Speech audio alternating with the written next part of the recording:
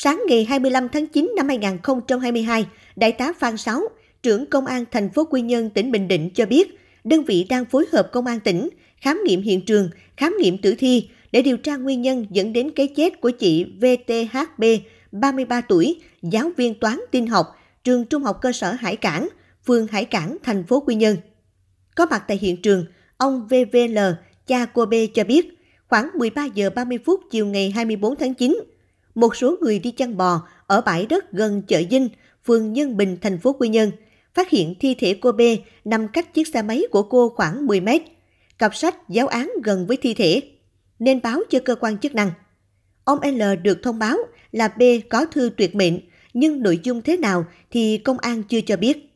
Tài sản của B thì cũng không mất gì, chỉ không tìm thấy chìa khóa xe máy. Trao đổi với phóng viên, ông Lê Biên Cương, hiệu trưởng trường Trung học cơ sở Hải Cảng cho biết, ngày 20 tháng 9, cô B dạy xong tiết 1 buổi sáng rồi lấy xe máy ra ngoài.